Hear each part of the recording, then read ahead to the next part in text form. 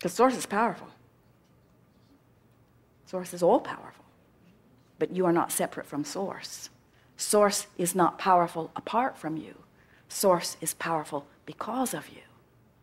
Your willingness to explore contrast is what gives birth to the new idea and takes the expanding source energy outward.